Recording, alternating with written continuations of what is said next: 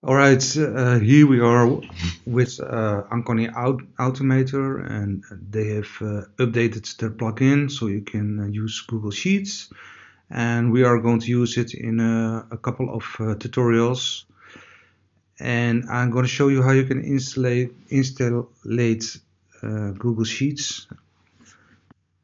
Um, first you have to update uh, the, the plugin of course and then you go to the settings and to Google and then you go to connect accounts. When you have done then then you see here that it's not safe but you go to advanced and you trust the plugin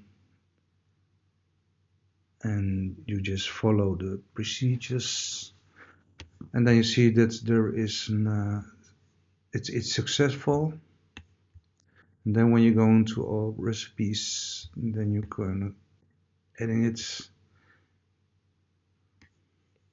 Let's say Elementor when somebody submits a form. And here it is Google Sheets. And then you can select the sheet and the rows so you can click on it and then you see here all your sheets that you have made. And this is these are mine but of course you see your own ones. So we are going to use this uh, um, this beautiful feature of Uncanny Animator.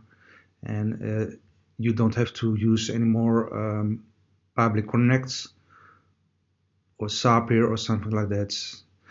So we are going to use it in the tutorials that coming up.